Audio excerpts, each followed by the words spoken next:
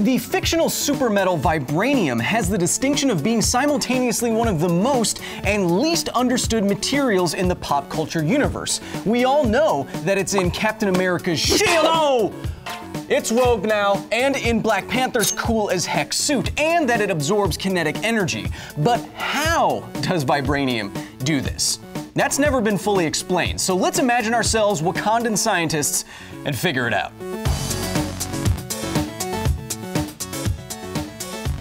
Vibranium is most well known for being the extraterrestrial metal that the nation of Wakanda used to advance their technology far beyond the outside worlds. T'Challa, the king of Wakanda, has the metal woven into his Black Panther suit, which serves as both offense and defense. The metal is incredibly durable, nigh indestructible, protecting T'Challa, but it also builds up energy to be released in powerful pulses.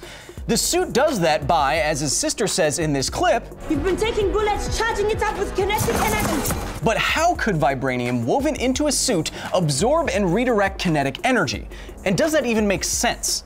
I think the specifics of vibranium are so complicated because 50 years of comics and movies and video games just throw around terms like momentum and kinetic energy and vibration when describing it without explaining further. So let's start from the start. Imagine that I'm Andy Serkis and I fire a bullet at Black Panther. Pew! Now that the bullet is moving, it has some momentum, equal to the bullet's mass times the bullet's velocity. Momentum is a useful measure to know because it gives us an idea how much oomph is behind its motion and it gives a direction to that motion. For example, there is no oomph in the downward direction. As it moves, the bullet also has something else useful that we can measure, kinetic energy, equal to one half times the bullet's mass times the bullet's velocity squared. Now, kinetic energy doesn't have a direction, but it's still very important to know because this energy is what will be transforming into other forms of energy once it meets T'Challa. And without this, we won't be able to fully describe what happens next the collision.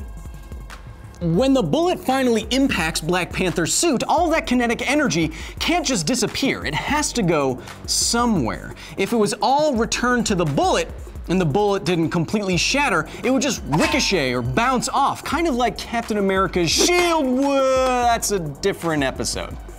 No, we want the kinetic energy of the bullet to go into Black Panther's suit in a collision where most, if not all, of that energy was transformed into something we could use. But what would that be? Seeing how advanced Wakandan scientists are, they could be storing all the kinetic energy Black Panther's suit is hit with as potential energy. In a perfectly elastic collision, the amount of kinetic energy before and after said collision is the same. So, for example, this wall isn't moving and has zero kinetic energy. In theory, if I threw a perfectly elastic Captain America shield at it, it would return to me with the same amount of kinetic energy that I gave it. But in the real world, at least at our human scale, there are no perfectly elastic collisions. For example, if I had a perfect recreation of the textile that is Black Panther's armor, perfect, and I punched it, it would bend and deform even if it was just a minuscule amount, and it takes some energy transformed into other forms to do this in what's called an inelastic collision. Sounds bad, but I think this is where vibranium's true power lies. How? It takes energy to physically change or deform some material, and most of that energy is lost through internal friction of that material's atoms. Heat. But what if vibranium could absorb and store kinetic energy using deformation itself? Shape an elastic material correctly, and you can make a mechanism that does just that. A spring. So if I were to run at this spring, my kinetic energy would translate into a force, which would compress the spring some distance. Now stored inside of the spring is elastic potential energy, equal to one half times the spring's stiffness here, K, times the distance it is compressed squared. Looks a lot like the kinetic energy equation, doesn't it? But how could Black Panther's suit function like a giant spring? Well, it couldn't. It could function like billions of tiny, tiny, tiny springs. What I am suggesting is that Wakandan scientists are years ahead of us in the field of molecular springs, the science of crafting incredibly efficient springs from the nanoscale on up.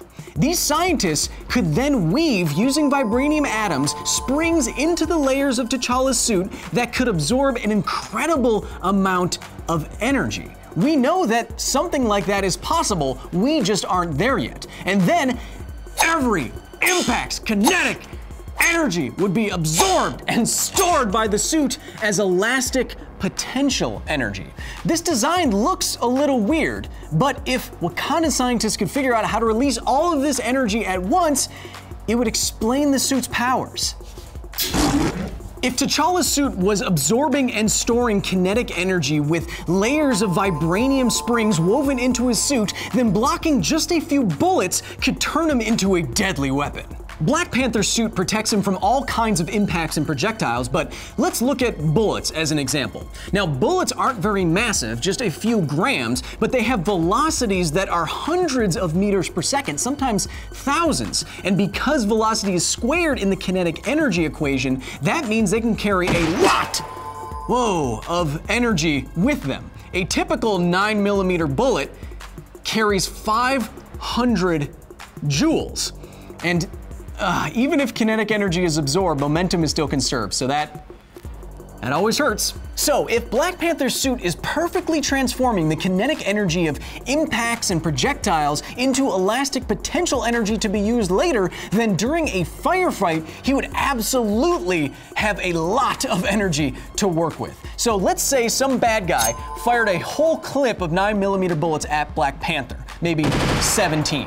After they were done impacting his suit, T'Challa would have 8 kilojoules of energy to work with. If some bad guy fired a whole clip of AK 47 rounds at T'Challa, maybe 30, after they were done impacting, that number would expand to 62 kilojoules, which is a lot. That's the kind of energy that space debris moving at 10 kilometers per second has. That keeps NASA up at night. Okay, fine, but how does all that energy get back out of the suit to smash cars and produce blast waves and stuff? Well, this is where the spring suit layer idea makes a lot more sense. If the Black Panther suit was storing thousands of joules in billions and billions of tiny compressed molecular springs, then the suit itself could do the damage. So let's say that T'Challa was just touching something like a car. He loves destroying cars. And his suit was charged up with all of that AK 47 fire that we discussed previously. Then, when the springs return to their original position, at T'Challa's command, they could push on a two ton car hard enough to move it from a dead stop to 10 meters per second instantaneously, or 20 miles an hour. The forces required to do that are so enormous that the car wouldn't just move, it would implode. The forces and accelerations involved here actually have a real world analog, the dreaded mantis shrimpy. This little crustacean uses spring like muscles to store a lot of elastic potential energy and release it in fractions of a second.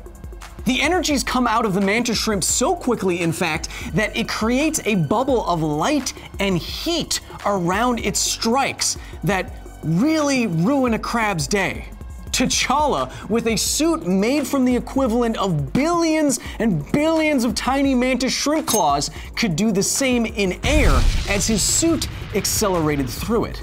So, how does Black Panther's famous vibranium suit really work? Well, if it is absorbing kinetic energy, that energy has to be going somewhere. And I am suggesting that Wakandan scientists have found a way to store it as elastic potential energy inside billions of tiny nanoscale vibranium springs woven into his suit. Then, after taking just a few bullet impacts, T'Challa could simply touch an object and produce shock waves like a mantis shrimp or implode it with massive forces supplied supplied by the suit itself, which is exactly what we see in the film.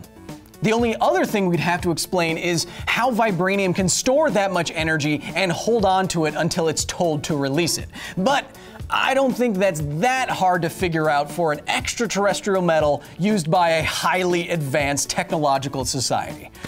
Because science.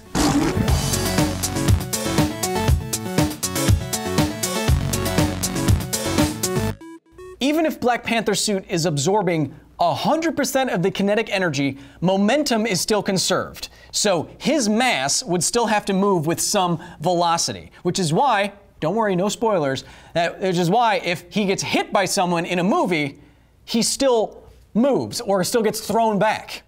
It's just physics. It's not magic.